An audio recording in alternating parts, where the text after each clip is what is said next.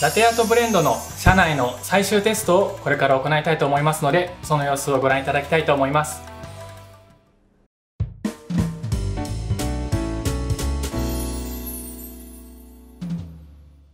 どうも皆さんこんにちは第一電化社専属バリスタの白石です山辺焙煎所焙煎士のなめかですえー、第一電化社の専属バリスタ、上松です。ちょっと今私、カメラを撮影しながら喋、えー、っております。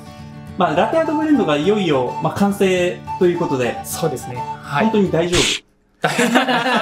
いやいや、いやあの、今まで散々そのエイジング検証の動画も、ね、まあ、今回そのラテアートブレンドの売りっていうのがそもそもちゃんとエイジングも検証して、はい、あまあ、あとエイジングだけじゃなくて産地で本当にどこが描きやすかったかっていうのも、かなり検証した上で、そうですね。まあ、ここまで手の込んだことをやって、これからの あの結果次第ではボツになる可能性全然ありますか全然あります。そうです、ね、あの、今日は、今、なんだろう、今日は、まあ、実際にちょっとラテアート私が書いてみて、まあ、白石が書けるのは当たり前なんで、まあ、ちょっと私久しぶりにラテアートちょっと頑張って書こうかなと思うんで、まあ、書いてみて、あと味の判断は、張本人の焙煎師がいるので、はい、あの結構あの辛口なことを言われる可能性にあるので、はい、あのそれでダメだと商品化したいボツなんで、普通にあり得るので、はい、あのよろしくお願いします。まあどうなるのかちょっとまあ楽しみながら、ね、じゃあここからやっていこうかと思います。じゃあちょっとマシンの方に移動しましょうかね。はい。えー、っとまあじゃあ今回どういう結果まあブレンド内容だったりとか、どういう感じの内容にはい、なった感じですかね。えっとですまあ、今までですね、まあ、いくつか、まあ、4カ国ですねサンプル、まあ、シングルで上げてもらって、まあ、それを前回、えっと、検証したと思うんですけれども、まあ、その結果を踏まえてで一応それを、まあ、なめかさんにお伝えをして、えっとまあ、ブラジルをメインにを使って、まあ、アクセントであとエチオピアを少し配合したブレンドでなめかさんに今回、えっと、お願いをしました。えっと、じゃあどうしようかな。とりあえず、抽出だけ白石君にやってもらって、ミルクのスチームと、まあ、実際にちょっと書きやすいかどうかは、あの、私、上松が、まあ、久しぶりにちょっと、まあ、本当ね、ラテアート全然下手くそなんですけど、まあ、書きやすいかっていう、まあ、その率直な意見を言って、そ、ねはい、それをさらに作ったやつを、長井川さんに飲んでもらって、で、まあ、ちょっとそれで見ていきましょうかね。そうですね。はい。はい、じゃあまあ今ちょっと抽出準備を、えー、してるみたいなんですけど、そうですね。なんかちょっと今そのちらっと話出たんですけど、カップの温度でもラテアート書きやすい書きにくいってそうですね。これもちょっとこの前個人的に今検証したんですけど、まあちょっと冷たいカップと、はい、しっかりと温まったカップでそれぞれ同じ条件で書き比べたら、はい、やはりあた温かいカップの方が書きやすかった。それえっとクレマが伸びるってこと。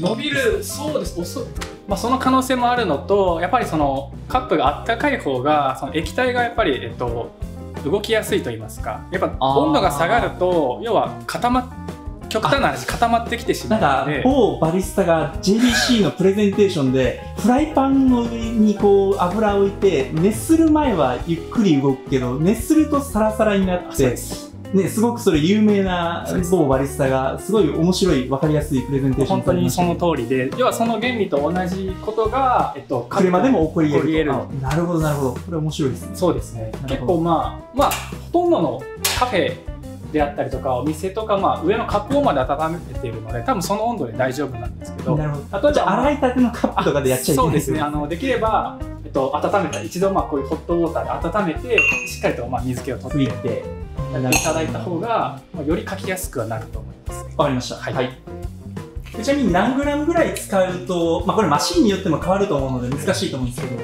今日は何グラムぐらいですか、えっと、今日は、えっと、20グラム。20グラム使って、ね、えっと、それぞれ本当に適正な抽出量といいますか、40グラム抽出でいきたいと思います。はい、まあ、それは本当にカップのサイズによりきりだと思うので、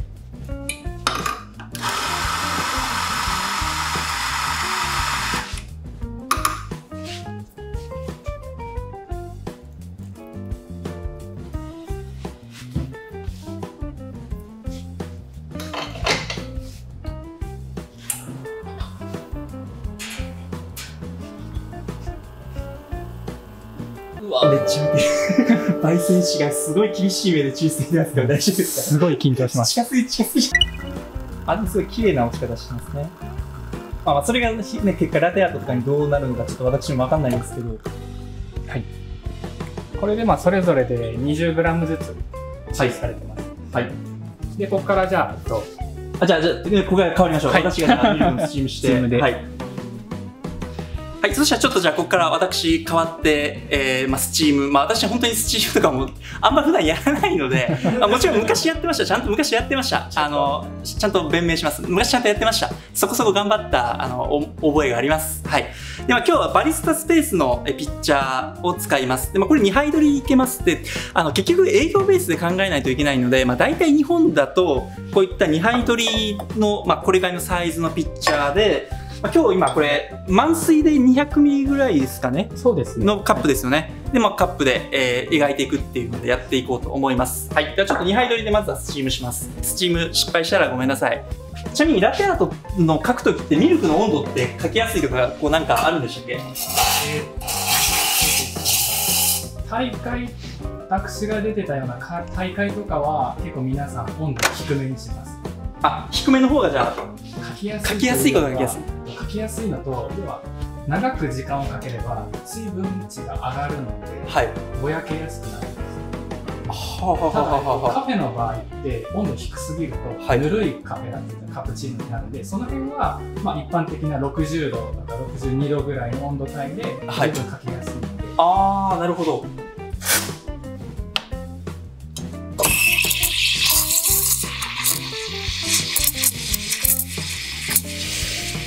かもう手が震えそうなんですけど大丈夫ですか？カメラ、なんか、ラテアートするとことかまず捉えることが私ないので、めちゃくちゃ今手が震えそうなんですけど。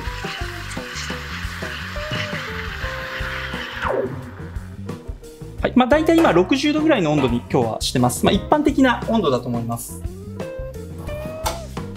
まあ、ちょっとあの、私ちょっと難しい絵柄描けないので、すみません。あんまり大した絵柄は、じゃないと思いますけど。わ、でもすごい。なんか、絵柄乗りやすいですね。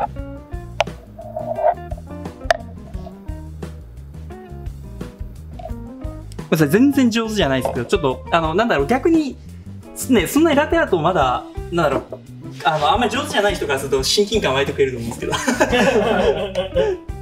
まあちょっと一一応2杯取りなんでもう一回いきます。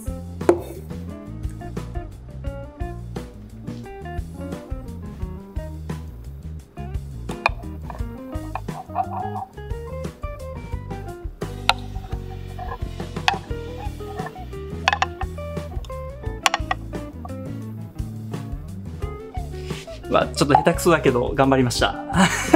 下手くそだけど頑張りました。はい。いや、でも、すごい乗りやすい。あの、なんだろう。吸って落ちるね。なんなんですか、クレマに落ちた瞬間、多分これね、バリスタの方だったらわかると思うんですけど、綺麗にポタって落ちて、なんだろう、にじまない。まずにじまない。すごいにじまない。で、なんだろう。あと、本当に書きやすい。あの、ごめんなさい、それ言葉で表現しづしづらいですけど、書きやすさはすごい書きやすいです。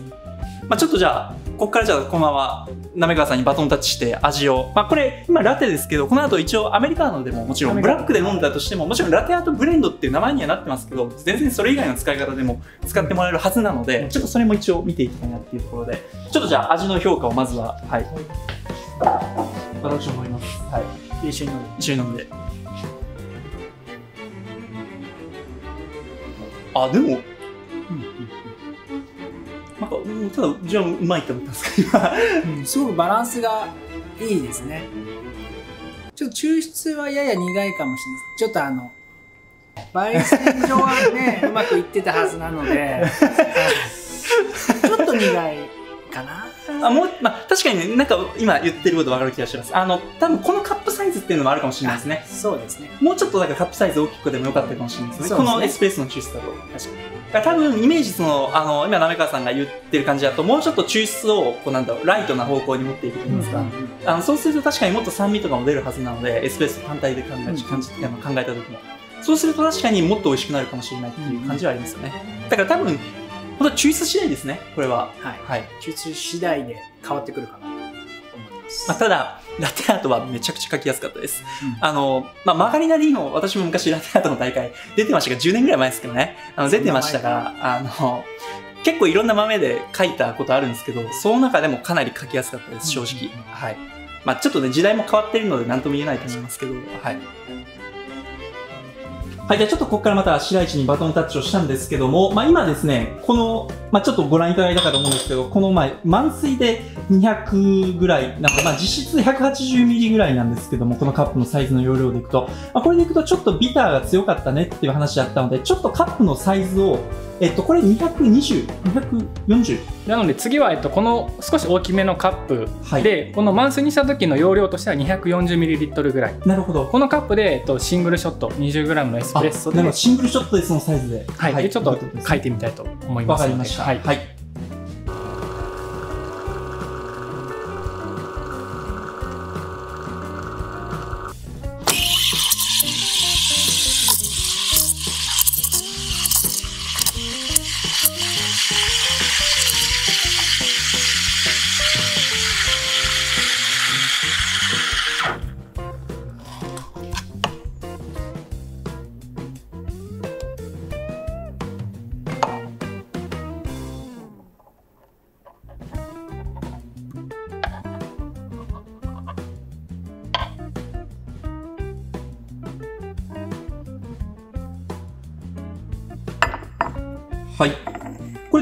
今シングルショットですよね。はい、シングルショットとシしては結構コントラスト出てますよね。結構しっかりと出てます、それすごいですよね。このカップのサイズで考えると。今エイジング3週間ほど取ってるんですけれども、はいまあ、それでもしっかりとやっぱコントラストが出て、はいここも乗りやすいので、そうですね。すごい流流れ方も綺麗でしたよね。なるほど、なるほど。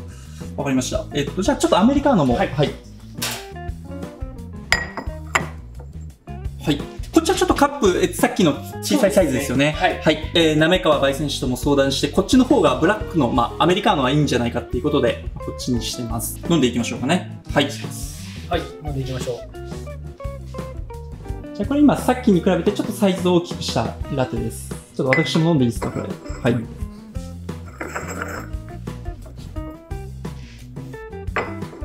あこれの方が断然バランスいいですね。そうですね。あのまあ、白石の抽出がおかしかったっていう疑惑もありますか、さっきの。ーさっきのはね、か可能性がねはいこっ。ちを、そうですね、イメージしたようなバランスが良くなりましたはいね。はい。さっきの苦さは感じず、やっぱりあのミルクの甘さと一体感があって、ちょうどいい感じはいちょうどいいなんか、はい。なんか、いわゆるほっこりする感じの、すごいなんか表現方法が、あの、なんか女子的ですみません。ほっこりする感じの、はい、感じですね。はい。はい。じゃあちょっとアメリカンの、まあちょっとまだ暑いかもしれないですけど、はい。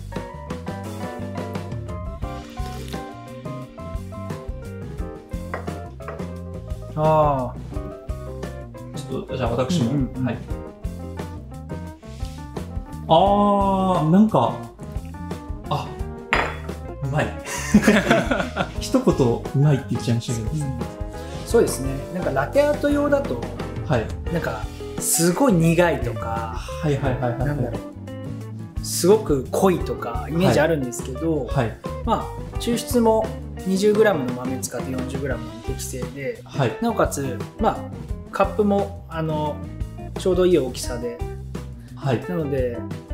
あのロースティドアーモンドとかそういう香ばしい感じとかはい。がすごくあってなんか普通にシンプルにこれ美味しいよねいやうま出せるうまいですよねはい出せる、今、うん、ブレンドに仕上がったかなっていうイメージですね。これブラジルめっちゃ多いんですよね、割合的に。うんうんまあまあまあまあ、いいブラジルなんだろうと思いますけど。